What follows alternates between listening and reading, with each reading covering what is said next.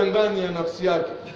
Yule anayeamrisha asisikilizwe, kwamba umekaa hivi unaangalia draft, alafu unaisikia adhana imetoka msikitini, nafsi itakwambia haya, time ya kuswali. Unaitwa wapi? Kuswali. Hiyo nafsul mutmainna inakukumbusha nenda. Hii inayoamrisha itakwambia "Ah, bado muda bwana, saa hizi ndo kwanza saa saba na dakika moja bwana. Unaona, inakuletea inakuletea inakuletea, unajisahau, unakuja kusikia Allahu akbar, Allahu akbar, swala inakimiwa, badala kuwa ulikuja uje kwa nani, kwa utulivu, ukamate udhu, uswali sunnati tahiyatul masjidi, uswali kablia, uswali kwenye takbira ya imam, unakuja mbio. Sasa, mara unataka kuteleza kwenye hodhi huko ukija unatawadha haraka haraka, unakuja kuingia Allahu akbar, Allahu akbar, imeshakumaliza nafsi imekumaliza. Haya ni mambo, hakuna mtu atajitia kwamba ana shughuli kubwa sana imemfanya achelewe kuswali. Haipo hiyo, ni nafsi tu kuisikiliza basi.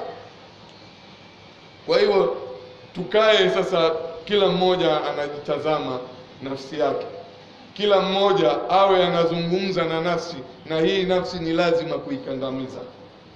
Chukulia wewe una swali swala tano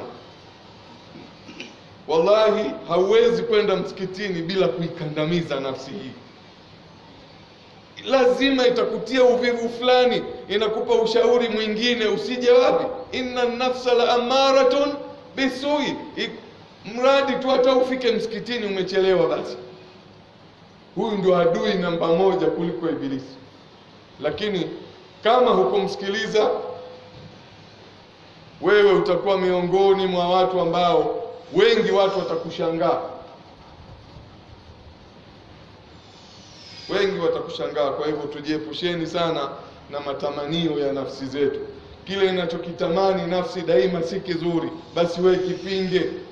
Usichelewe kuswali msikitini, usikose swala ya jamaa, uswali alfajiri msikitini, uswali na wenzio Waislamu, wavumilie wale wenye makosa madogo madogo, wenye udhaifu, wavumilie, uwe msamehevu, na wewe Mwenyezi Mungu atakusamehe na atakuweka miongoni mwa waja wema.